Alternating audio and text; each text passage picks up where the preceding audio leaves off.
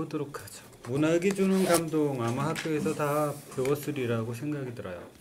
시를 읽고서 문학의 큰 갈래로는 뭐가 있어요? 시가 있고요. 시가 있죠. 앞에 두 개. 그 다음에 이야기가 있죠. 그죠? 시와 이야기가 크게 보면 문학이라고 보는 거예요. 알았죠? 자, 시에서 감동을 받거나 공감하는 표현을 찾아볼 거예요. 시에서 내가 감동받은 표현, 공감, 내가 공감, 그거랑 공감하는 표현을 찾아볼 거예요. 감동받거나 공감하는 까닭은 또 뭔지 한번 생각해 볼 거예요. 내가 왜 거기에 감동받고 내가 왜 거기에 공감, 공감하는지 그 까닭을 한번 생각해 볼게요. 시와 이야기를 읽고 자신이 감동받은 까닭을 생각해 보자. 이거 요 말이랑 똑같은 거죠. 왜 내용에 공감하기 때문이래요. 또 자신의 경험이 또 떠올랐기 때문에 그래요. 그래서 감동받았어. 또 작품에서 재밌는 표현을 찾았기 때문이래요. 자, 우리 이렇게 표현할 수 있어야 되겠어. 그지?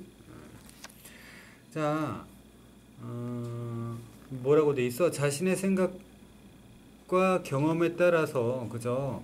감동받은 까닭은 다 틀릴 거예요, 사람마다. 이야기를 읽고 작품에서 감동 받은 감동을 표현해 볼게요. 작품, 이야기에서 인상적이거나 공감 가는 부분을 찾아보고 그 까닭을 생각한 다음에 그저 어, 그 생각을 친구들하고 이야기해 볼 거예요. 이야기해 볼 거예요. 이야기에서 좋은 점을 찾는 방법. 이야기에서 재미있거나 인상적인 부분을 찾아요.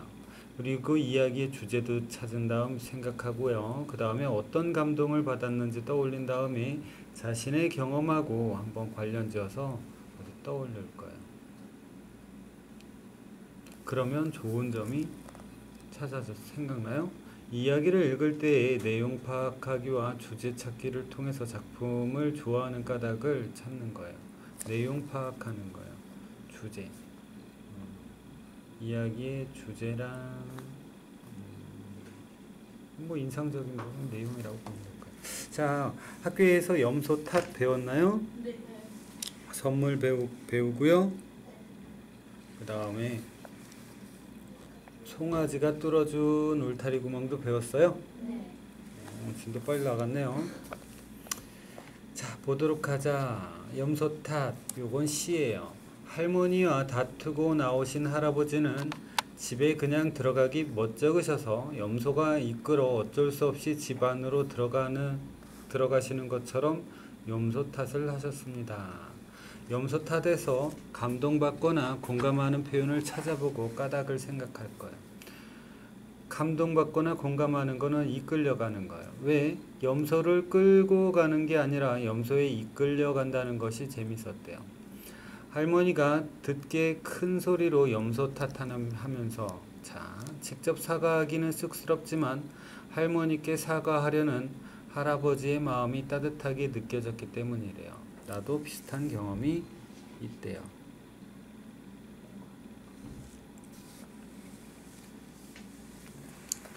선물 볼게요. 자, 내용 살펴보기. 서커스장 매표소 앞에서 가족을 위해 표를 사려다가 돈이 부족하여 좌절한 남자에게 나의 아버지는 돈을 줬어요. 남자가 큰 선물이라면서 고마워했어요. 자, 감동받은 부분은 아버지께서 지폐를 바닥에 떨어뜨리고 남자를 부르시는 부분. 도움을 받는 사람이 부끄러워하지 않게 하려는 배려가 느껴졌어요. 그래서 감동받았어요. 남자가 돈을 받으며 떨리는 목소리로 말하는 부분은 가족에게 서커스를 보여줄 수 있게 되어 고마워하는 남자의 모습이 와 닿았기 때문이에요. 내가 서커스 구경을 하지 못하고도 허전하지 않다는 부분은 아버지의 결정은 조, 결정을 존중해요. 기꺼이 남을 돕는 마음이 존경스럽기 때문에 감동받은 거야. 알았죠? 자, 송아지가 뚫어준 울타리 구멍 볼게요. 엄지와 구만이는 친한 친구지만 비슷한 시기에 두 집 소가 새끼를 뱉는데 엄진의 소가 송아지를 먼저 낳은 일 때문에 둘의 사이가 나빠졌어요. 그러나 엄지, 엄진의 송아지가 구만이네 집으로 놀러와서 송아지들이 서로 친하게 지내는 모습을 보고 엄지와 구만이는 화해했대요. 인상적이거나 공감 가는 부- 부분을 볼게요. 구만이가 일부러 큰 소리로 책을 읽어요. 왜? 구만이가 화난 마음을 달래면서 다른 것으로 엄지를 이기고 싶어하는 마음을 알 수 있어요. 그죠? 엄진의 엄마가 아, 엄진의 엄마 소가 송아지를 찾는 법은 송아지가 엄마 소의 울음소리를 알아듣는 것이 신기했대요. 뭐가 신기해? 지 새끼 찾는 건데, 그지? 자, 울타리 구멍이 다시 막히지 않았다는 부분. 엄지와 구만이가 화해하여서 다행이라는 생각이 들었기 때문이래요.